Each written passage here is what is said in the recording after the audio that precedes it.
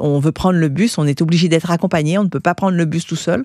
Or qu'à Paris, tout se fait tout seul, les gens sont autonomes et vous savez qu'on est un pays très escarpé dès qu'on habite un petit peu dans les hauts, il n'y a plus rien pour nous.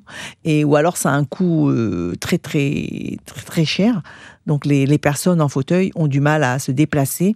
Si la famille n'a pas de voiture, il ne viendra jamais au terrain de sport. L'encadrement va venir chercher une fois, deux fois. Et après, au troisième fois, ben, il va se dire que lui aussi, ben, il a du mal à mettre le fauteuil dans la voiture, à le ranger. Donc, euh, c'est une situation qu'on décrit euh, déjà depuis bah des années. Est-ce que vous avez l'impression que ça bouge? Il y, a des communes qui ont mis en place des, des, transports, comme la mairie de Saint-Denis, ils ont mis CityCare.